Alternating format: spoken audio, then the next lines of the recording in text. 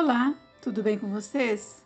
Hoje, dia 344, nós estamos dando início à leitura da primeira epístola de Paulo a Timóteo. Primeiro Timóteo foi escrito pelo apóstolo Paulo em aproximadamente 62 a 66 depois de Cristo.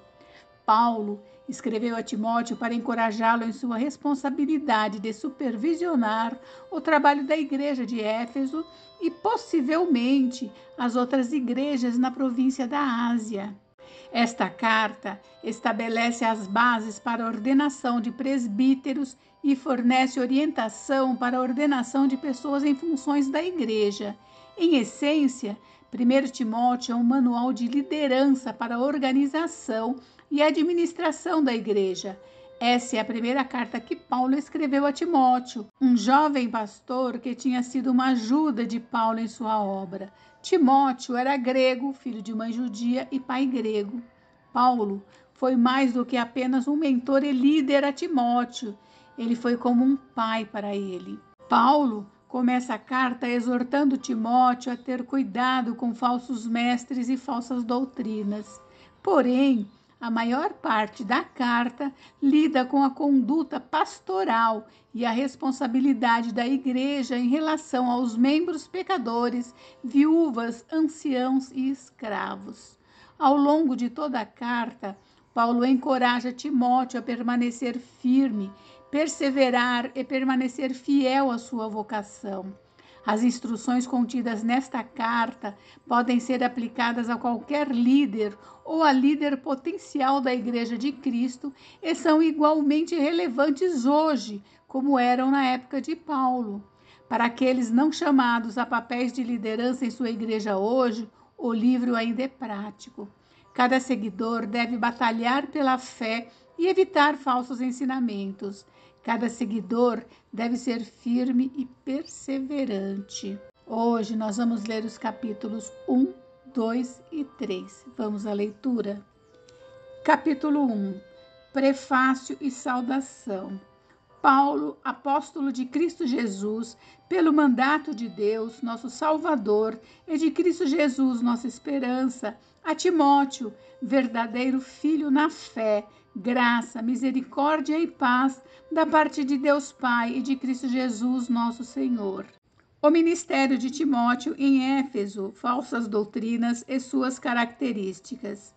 Quando eu estava de viagem rumo da Macedônia, te roguei permanecesses ainda em Éfeso para admoestares a certas pessoas, a fim de que não ensinem outra doutrina, nem se ocupem com fábulas e genealogias sem fim, que antes promovem discussões do que o serviço de Deus na fé. Ora, o intuito da presente admoestação visa ao amor que procede de coração puro e de consciência boa e de fé sem hipocrisia. Desviando-se algumas pessoas destas coisas, perderam-se em loquacidade frívola, pretendendo passar por mestres da lei, não compreendendo, todavia, nem o que dizem, nem os assuntos sobre os quais fazem ousadas asseverações.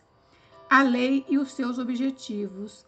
Sabemos, porém, que a lei é boa se alguém dela se utiliza de modo legítimo, tendo em vista que não se promulga lei para quem é justo, mas para transgressores e rebeldes, irreverentes e pecadores, ímpios e profanos, parricidas e matricidas, homicidas, impuros, sodomitas, raptores de homens, mentirosos, perjuros e para tudo quanto se opõe à sã doutrina, segundo o evangelho da glória do Deus bendito, do qual fui encarregado.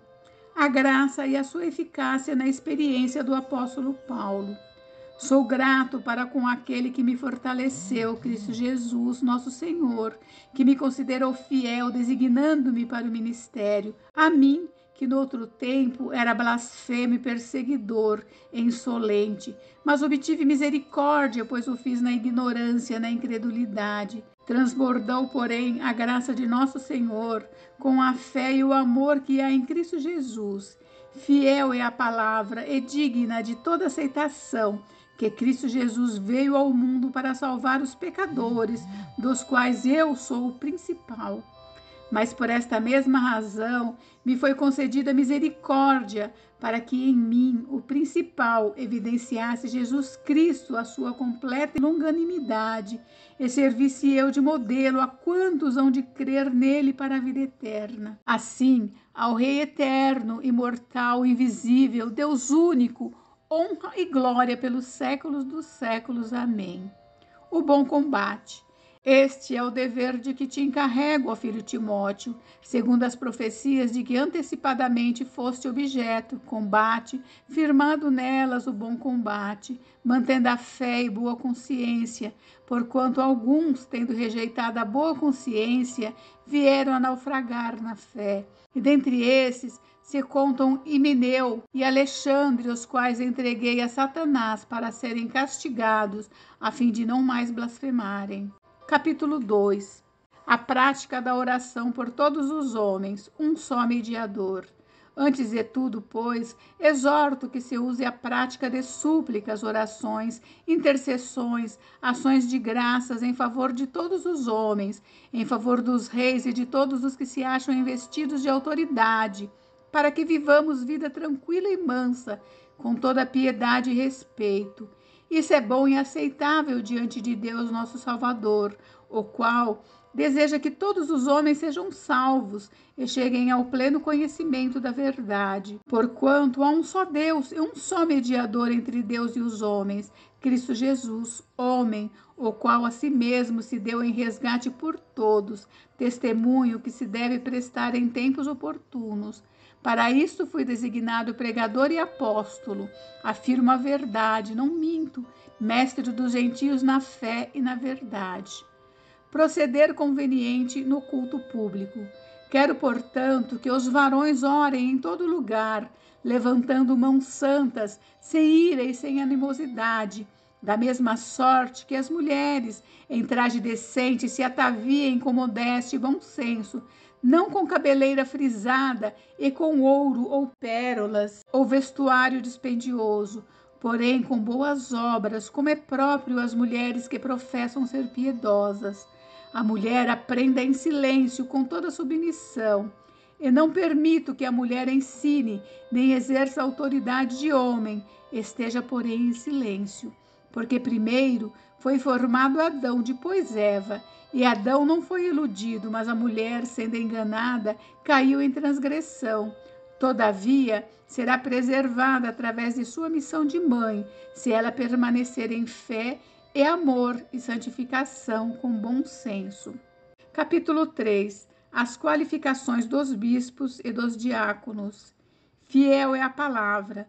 Se alguém aspira ao episcopado, excelente obra almeja é necessário, portanto, que o bispo seja irrepreensível, esposo de uma só mulher, temperante, sóbrio, modesto, hospitaleiro, apto para ensinar, não dado ao vinho, não violento, porém cordato, inimigo de contendas, não avarento, e que governe bem a própria casa, criando os filhos sob disciplina com todo respeito. Pois se alguém não sabe governar a própria casa, como cuidará da igreja de Deus? Não seja neófito, para não suceder que se ensoberbeça e incorra na condenação do diabo. Pelo contrário, é necessário que ele tenha bom testemunho dos de fora, a fim de não cair no opróbrio e no laço do diabo. Semelhantemente, quanto a diáconos, é necessário que sejam respeitáveis de uma só palavra, não inclinados a muito vinho, não cobiçosos de sorte da ganância, conservando o ministério da fé com a consciência limpa. Também sejam estes primeiramente experimentados e, se se mostrarem irrepreensíveis, exerçam o diaconato. Da mesma sorte, Quanto a mulheres, é necessário que sejam elas respeitáveis, não maldizentes, temperantes e fiéis em tudo. O diácono seja marido de uma só mulher e governe bem seus filhos e a própria casa, pois os que desempenharem bem o diaconato alcançam para si mesmos justa preeminência e muita intrepidez na fé em Cristo Jesus. A Igreja de Deus, coluna e baluarte da verdade, o grande mistério da piedade. Escrevo-te estas coisas, esperando e ver-te em breve, para que, se eu tardar, fique ciente de como se deve proceder na casa de Deus, que é a igreja do Deus vivo, coluna e baluarte da verdade. Evidentemente, grande é o mistério da piedade. Aquele que foi manifestado na carne, foi justificado em espírito, contemplado por anjos, pregado entre os gentios, querido no mundo, recebido na glória.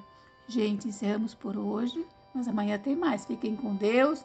Deus abençoe vocês. Até amanhã. Beijos, beijos.